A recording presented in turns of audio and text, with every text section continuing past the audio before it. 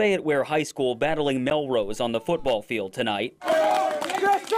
But hardly anyone watching in the stands. The school district barring spectators from the game out of an abundance of caution after this alarming post circulated on social media. It appears to show someone holding a gun with a caption that reads, I'm a light up Fayette where that's what these people get for bullying. There was definitely cause for concern. When students saw the post this morning, the sheriff's office quickly receiving dozens of calls after students started sending the image to their parents. After an initial investigation, deputies believe a Fayette Ware student posted the image as a prank. They also believe that student modified the photo by adding the caption. It appears that the original post was created in another Fayette uh, jurisdiction in another state, Fayette, Missouri. Where the original picture was downloaded from an online publication that covers guns and tactical gear. So it appears the image was doctored twice. Uh, multiple times. If you see the original image, it's been screenshotted uh, countless times you can see overlays. District officials saying they take all threats seriously,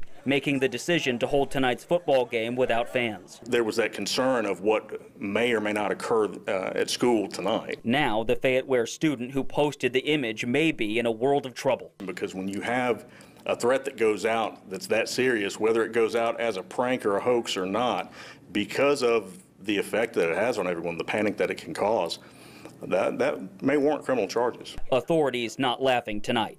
In Fayette County, Andrew Ellison, WREG News, Channel 3.